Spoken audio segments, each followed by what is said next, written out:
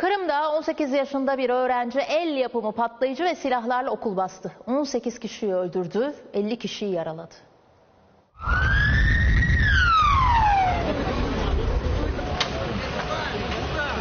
14 yaşında bir öğrenci okul basıp katliam yaptı. 18 kişi hayatını kaybetti. 50 kişi de yaralandı. Olay Kırım'ın Kerç kentinde meydana geldi. Öğle saatlerinde okuldan çok şiddetli bir gürültü duyuldu. Yüzlerce polis ve asker kırmızı alarma geçti.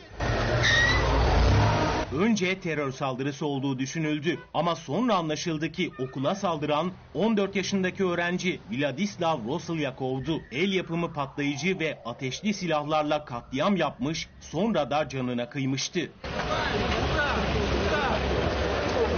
Rusya Devlet Başkanı Putin yaşanan bir facia dedi, Kırım'da 3 günlük yas ilan edildi.